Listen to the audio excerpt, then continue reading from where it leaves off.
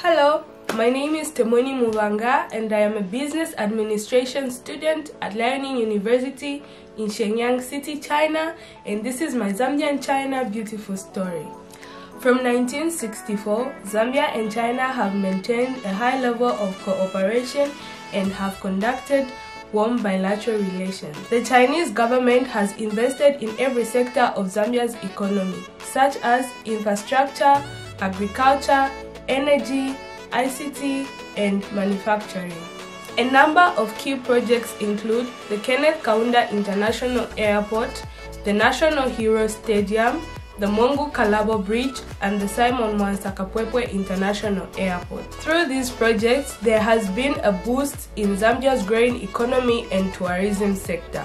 China has become one of Zambia's largest investors, and Zambia has become one of the best destinations for Chinese investment in Africa. As a young girl growing up, I fell in love with the movie The Karate Kid, starred by the famous award-winning Chinese actor Jackie Chan.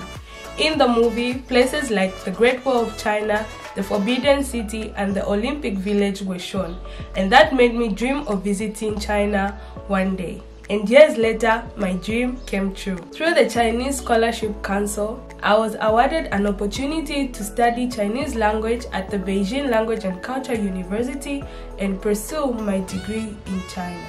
During my first year of language school, I had the opportunity to visit all the places I dreamed of visiting.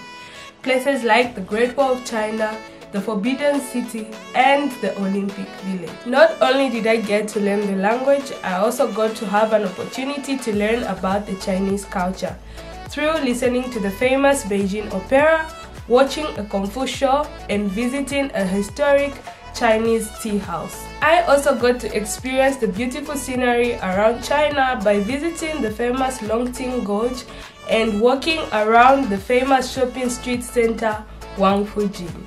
I am thankful for all these opportunities and I believe China will make the world a better place.